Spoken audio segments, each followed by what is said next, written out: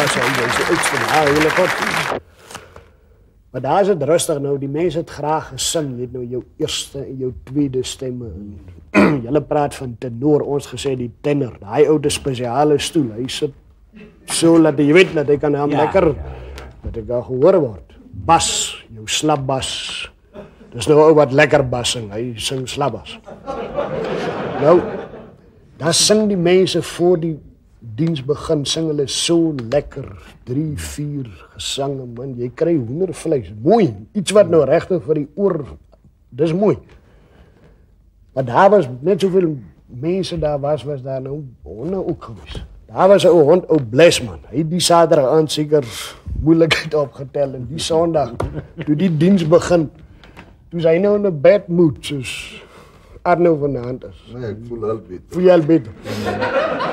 Nou sit hy die mense nou begin sing. Nou sit hy voor die deur. Hy kyk nou hier die Johannesburg, hier waar ons die kant toe kyk hy nou. En hy hy lê vat hom so 3 keer nou. Hy so gaan hy nou op met die noot. Nou hoor hy hom so vir 'n minuut so en dan vat hy hom weer onder. Maar dit maak toe nou hier in die hier in die waar die diens nou plaas van 'n giet, dit toe half chaos af. Want hier verloor 'n man die nood in Blesman raak toe half of hy nou die die diens oorraak. En die manne gaan nou so met die sing en toe sien oupa later maar hier kom 'n lelik fout met die sangry en hy knik vir met sy een ou broer sit so by die deur hy knik vir hom. Dit beteken hy moet vir Blesman gaan wegvat. Maar nou stap hy met die gesangboek uit. sing sing. Maar Blesman sit met sy rug na die hele hy Hy is hartseer. So hy loop trap nou vas en hy skop vir Blesman hier tussen die blaaie in. Soos hy nou huil gaan die ding nou uh, twee oktawe nog hoor. en daar slaan die ou broer toe nou oor op die noot wat Blesman nou vir hom gegee het.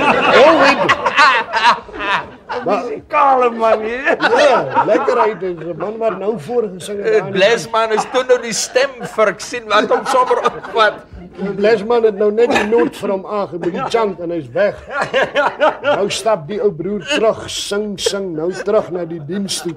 En binne is hulle nou nog steeds met die gesang. Jy sing mos alle verse, net een nie. Wat toe hy nou inkom, toe is dit chaos. Toe hy Blesman se noot. Toe hy blesman se noot buite maar toe's dit chaos. Hoe dit sing en dit stop en hier en oupa wys toe nou vir die hele mense die familie daar stop stop. Oupa sê vir hom, "Jong, ek vra jou nou om die ou lady honde loop stil maak.